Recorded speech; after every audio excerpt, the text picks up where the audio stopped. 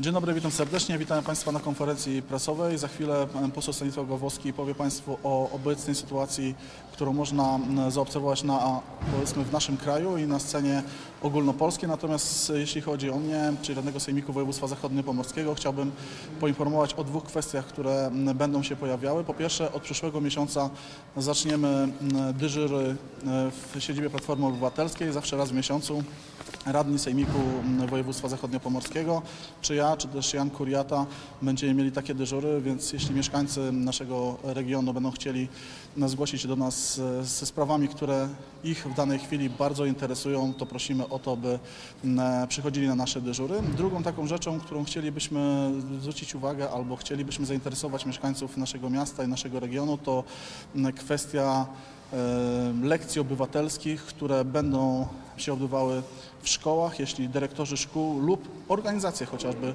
pozarządowe będą chciały e, posłuchać tego, co dzieje się na bieżąco w Sejmiku Województwa Zachodniopomorskiego, albo nad czym pracujemy, albo jakie środki jesteśmy w stanie dla regionu zdobyć, to będziemy właśnie do dyspozycji. Takie lekcje odbywają się już w, w Koszalinie i w powiecie koszalińskim. Zainteresowanie jest dosyć duże, więc jestem przekonany o tym, że na terenie powiatu szczecineckiego zainteresowanie, jeśli chodzi o strony nauczycieli, o strony organizacji różnego typu pozarządowych będzie równie dużo, więc my chcielibyśmy się z mieszkańcami naszego regionu właśnie w ten sposób e, dzielić tą wiedzą. Jeśli będzie takie zainteresowane, to oczywiście czy pan Jan Kuriata, radny Sejmiku, czy też ja będziemy do Państwa dyspozycji.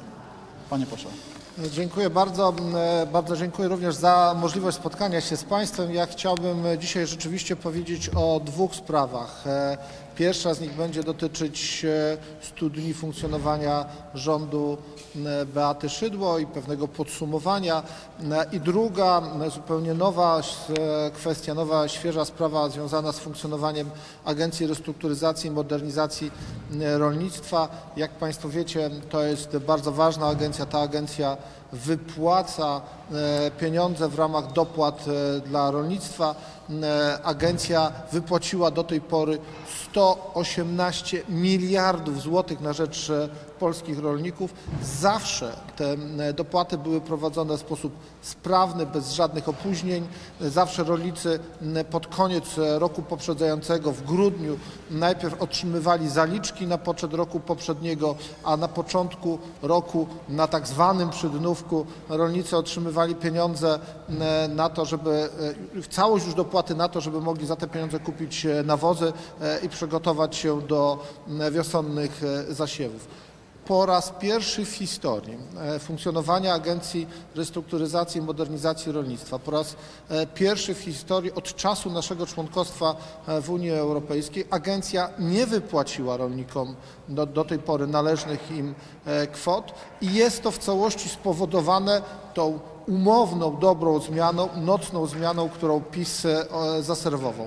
Bo otóż e, na, zaraz po objęciu władzy przez PiS e, zostali wyrzuceni z pracy wszyscy prezesi i dyrektorzy zarządzający w centrali w, agencji.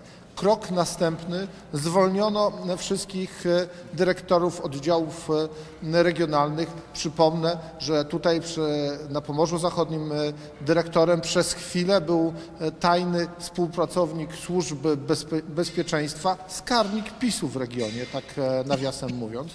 I Kolejny krok, który PiS wykonał, to jest wywalenie wszystkich kierowników oddziałów e, powiatowych e, w tejże agencji, a teraz krok, który kolejny wykonuje, to jest zwalnianie również zastępców kierowników. Po co o tym wszystkim mówię? Po co mówię o tych e, zwolnieniach, o tych czystkach, e, które e, PiS prowadzi w tej części? Bo te zwolnienia, te czystki przekładają się do, na to, że dzisiaj agencja została sparaliżowana, rolnicy nie dostają należnych pieniędzy.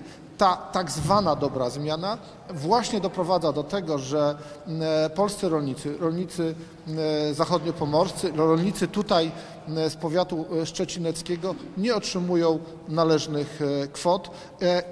Odpowiedzialność wprost ponosi tylko e, jedna formacja polityczna, Prawo i Sprawiedliwość. Wystarczyło nie dotykać, nie zwalniać ludzi merytorycznie za, tych za to odpowiedzialnych, ludzi, którzy przeszli odpowiednie szkolenia, którzy posiadali odpowiednie certyfikaty.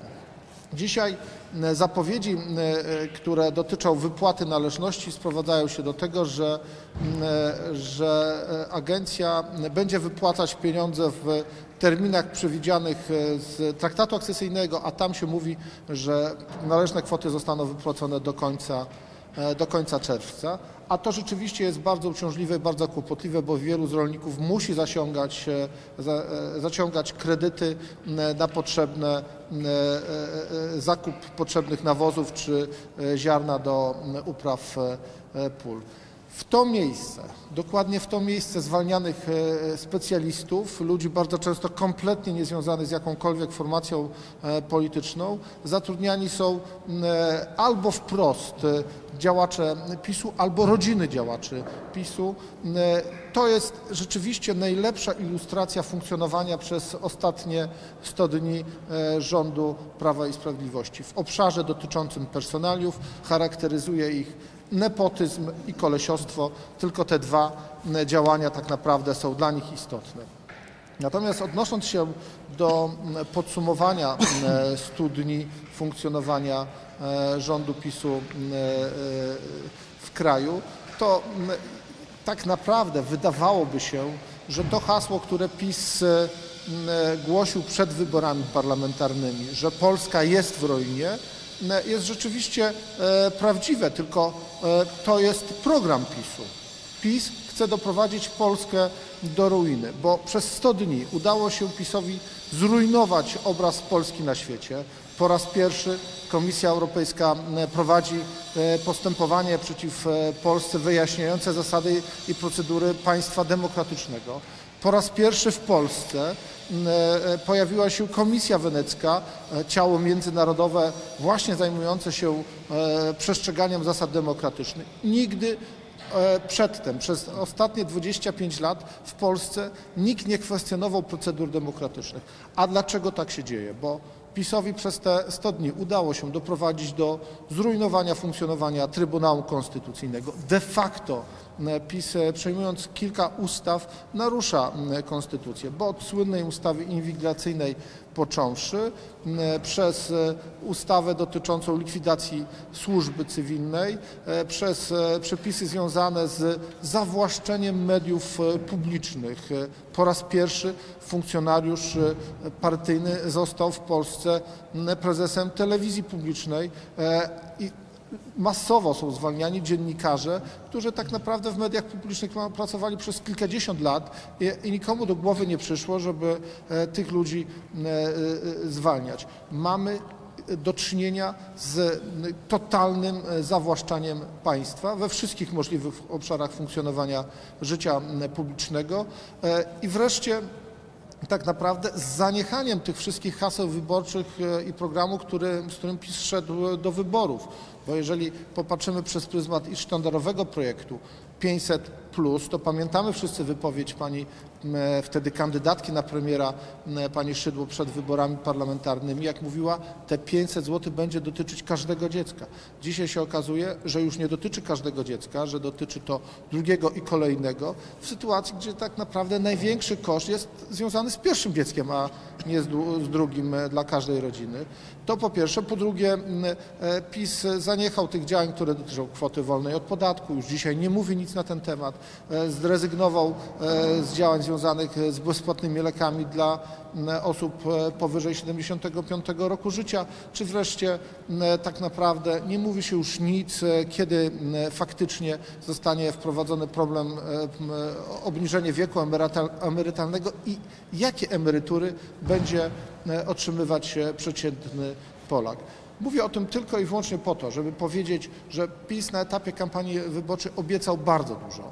E, I z tych rzeczy, które zadeklarował i obiecał, e, tak naprawdę nic nie zrealizował poza obciążeniem e, podatkowym, nowymi podatkami obywateli, a zrealizował cały ogromny fragment dotyczący zawłaszczenia wolności obywatelskich, dotyczący rujnowania zasad państwa demokratycznego.